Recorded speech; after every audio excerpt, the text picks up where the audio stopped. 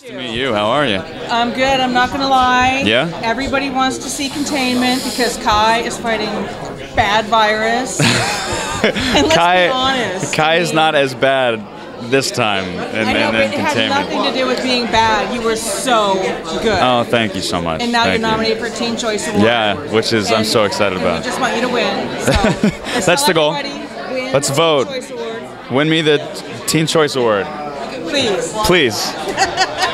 No, they're the best. I mean, just getting nominated speaks volumes about the fan base and how passionate people are, are about the show and about the character, which is amazing because you know he's such an eccentric, dark, really disturbed character, and you never know how that's going to be received. And What's the best part of him dying? this. the the new role, the new show. You know, and it, it's it's sad and it's it's bizarre to not uh, be working on that show. That I was there all all year with those guys and getting close. But my new show's in Atlanta.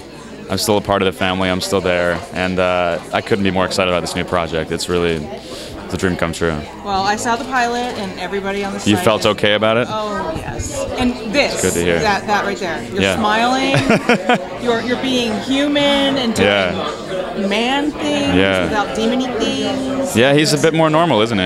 Yeah. Yeah, which is nice to see.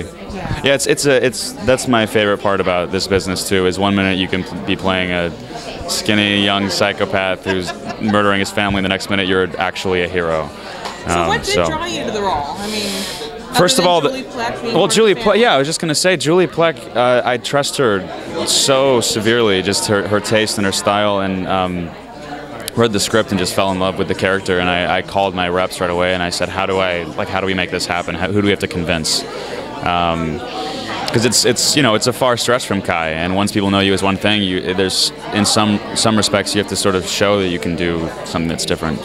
Um, and I, I was ready to fight, and I was like, I, I'll do whatever it takes. I just I loved the character in the world too much to to let it go away. So. Well, I want to apologize for being four to six within range. I know it's very dangerous at this distance. very We're both at risk of getting sick right now.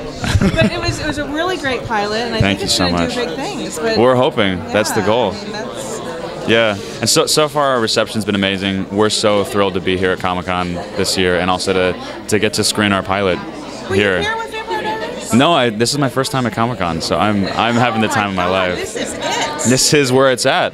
I feel like I found my people. oh, your people found you long before you found your people. They just didn't send me the before. invite. That's all it was. I can't thank you enough.